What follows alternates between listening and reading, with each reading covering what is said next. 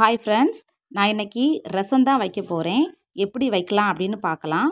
முதல்ல வந்து ஜீரகம் நல்ல இஞ்சி பூண்டு. இந்த நாளையும் தனியாக நல்லா இடித்து தனியாக எடுத்து வச்சுருக்கிறேன்.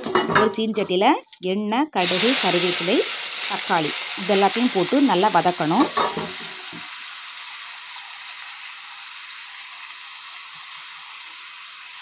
தக்காளி நல்லா வதங்கினதுக்கு அப்புறமா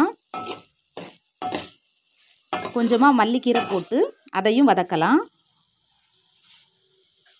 காயம்.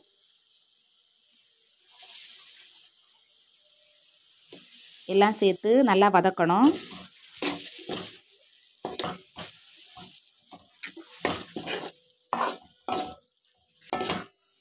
தக்காளி நல்லா வதங்கினதுக்கு அப்புறமா நம்ம ஏற்கனவே பொடி பண்ணி வச்சுருக்கிற ஜீரகம் நல்ல மிளகு இஞ்சி பூண்டு இது எல்லாத்தையும் அந்த தக்காளி கூட போட்டு சேர்த்து நல்லா இன்னும் வதக்கலாம்.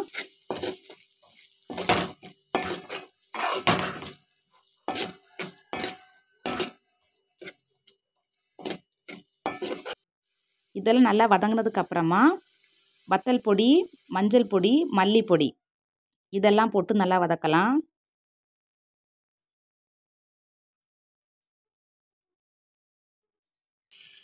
இது நல்லா வதங்கி அந்த பச்சை வாசனைலாம் போனதுக்கப்புறமா புளி ஊற்றுறேன் புளி தண்ணி ஊற்றுறேன் புளி தண்ணி ஊற்றி தேவையான அளவு தண்ணியும் விட்டு நம்ம உப்பு போட்டு மல்லிக்கீரையும் போட்டு நம்ம இறக்கணும் அப்படின்னா டேஸ்டான ரசம் வந்து ரெடி ஆயிடுச்சு.